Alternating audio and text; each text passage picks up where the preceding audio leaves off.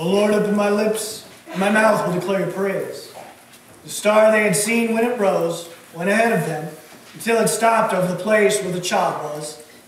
When they saw the star, they were overjoyed. Coming to the house, they saw the child with his mother Mary. They bowed down and worshiped Jesus. Gentile Christmas, Epiphany. And the Epiphany light is shining bright, and it's shining on Christ. It's illuminating Jesus. We learn from the Magi about worship, about where worship is directed, and who worship is about. We also learn what worship most certainly is not. We learn what worship is not from King Herod. He called the Magi, and he said, Go, search carefully for the child. As soon as you find him, report to me, that I too may go and worship him. Herod wants to worship Jesus. Well, Herod, you have two eyes. You have two feet. You follow the star yourself. You don't need us. You go follow the star, Herod. But Herod will not. He wants to worship Jesus his own way. He wants to worship Jesus with his own style, with his own preferences. And Herod's worship includes infanticide, the death of Jesus, and it'll cause the lives of the slaughter of the holy innocents. Any who get in Herod's way, for he is full of rage and jealousy, and any who get in Herod's way of being king, they'll be put down. They'll be put to death. Because Herod has no room for anyone else. No one else except for him. And all other kings will go away. And that's what Herod does. Herod sends out the henchmen. The chariots roll out as fast as they can, and the swords are drawn. And they're sent out to put those to death. Don't follow Herod's path. Don't follow Herod's example of worship, where it's all about you, where it's all about your preferences, and where you have no room for any others. Don't follow Herod's example, because he has the idolatry of the highest order. Idolatry of the highest order, it's all about you. It's all about yourself, and no room for anyone else. Now follow the example of the Magi. The Magi example in worship is they have a focus. They have an eye set and fixed on Jesus. For true worship takes place where Jesus is. Where Jesus has come for the Magi, where Jesus has come for the Jews, and where Jesus has come for sinners like you and sinners like me. This is where true worship takes place. And true worship receives. Receives what God has come to give. And what God comes to give you is His Son. For God so loves you, He gives you His one and only Son. Whoever believes in Him shall not perish, but have eternal life. True worship receives what God comes to give. And the star that God placed in the sky highlights His Son. And the star is still shining. The star is shining bright. But this star is God's Word. And this Word of God is filled with Jesus for you. Psalm 119. Your Word is a lamp to my feet and a light for my path. The Word of God brings Jesus over and over again. The star that God had placed in the sky was great. It was wonderful. It got the Magi in the ballpark, but it did not get them to the specific place of where Jesus is for the sinner.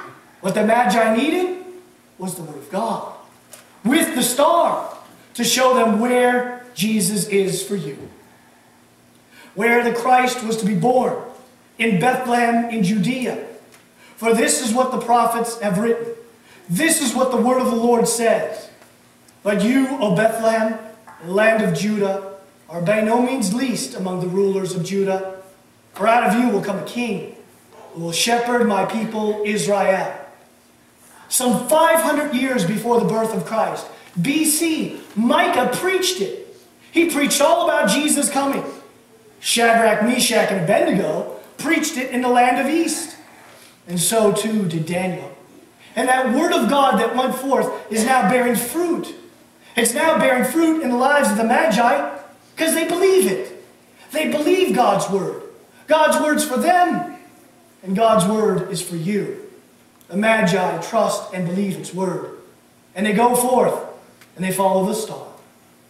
They follow the star and it leads them to where Jesus is. Their commute is a little bit longer than yours. Their commute is to go to church because church is where Christ is. And he's the King of kings and Lord of lords. But he's no king like this world has ever seen. King Jesus serves.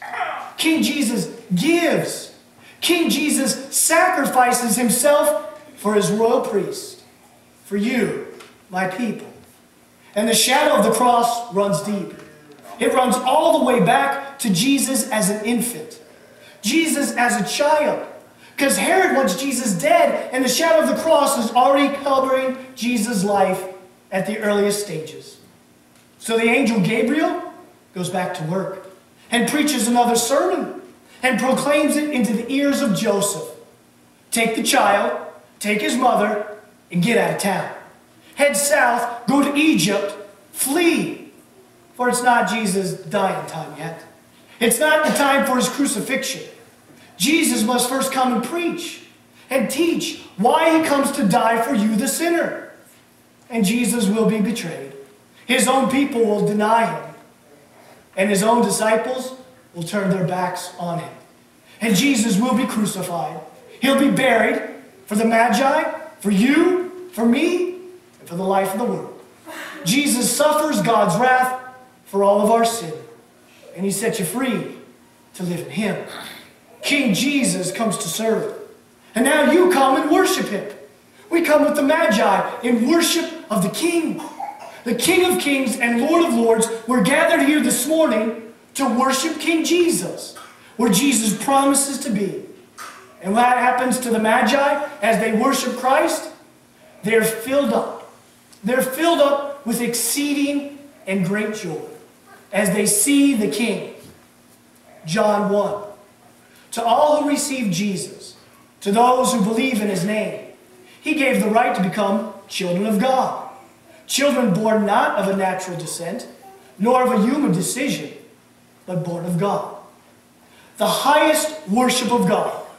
The highest worship of God is faith. F A I T H. Faith, trust, and believing in Jesus Christ is the highest worship of God. It's what the Magi have. It's what you have. It's what draws us here this morning. Gathered together as the faithful people of God, hearing His word and receiving His gifts. And He fills you up with exceeding joy. Great joy. And what do the Magi do in response to seeing the King? They bring gifts. They bring offerings. They open up their treasures before the Lord. Their first gift, gold. Gold is the gift of royalty. Gold is a gift for the king of the highest order. And Jesus Christ is the king. They bring their frankincense. Incense is used in worship. And what incense does, it goes up. It rises up to God as a sweet smelling sacrifice. Psalm 141. Let my prayers rise before you as incense and the lifting up my hands as the evening sacrifice.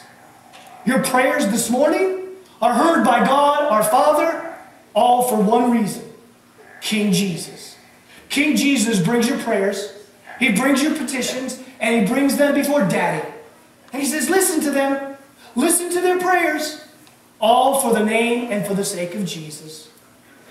And myrrh. Myrrh is a beautiful perfume. And what myrrh is used for is burial. Buried. And your sins have been buried with Jesus. And Jesus rises from the grave to forgive your sins. Gold, frankincense, and myrrh.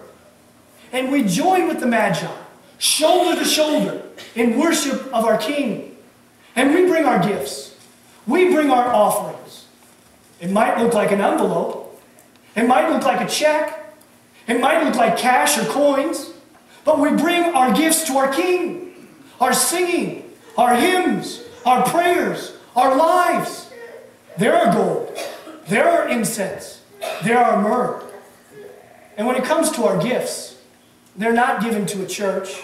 That's where you give them, but they're not given to the church. They're not given to a pastor. They're not given to a budget, but rather our gifts are given to Jesus, King Jesus, in worship of Him. Because He's the center. He's the center of your life. He's the center of our worship. He's the center of the thought, giving you His name. He's at the center of the altar, filling you with exceeding and great joy, filling you with His body and His blood. He's at the center of His Word, and He forgives all your sins. Jesus is at the center. And as we bring our gifts, they're in service to the gospel, that King Jesus' name may be heard, believed, and confessed among the faithful. And God's name goes forth. It's Epiphany. Bask in His light. Live as children of light. And reflect His light in the world. A blessed Epiphany. Christ's light has come. And He comes for you. In the name of Jesus. Amen. Rejoice in our King's givings and His serving. God's people have the opportunity to sing. In the words of the offertory 192, we stand for the offertory.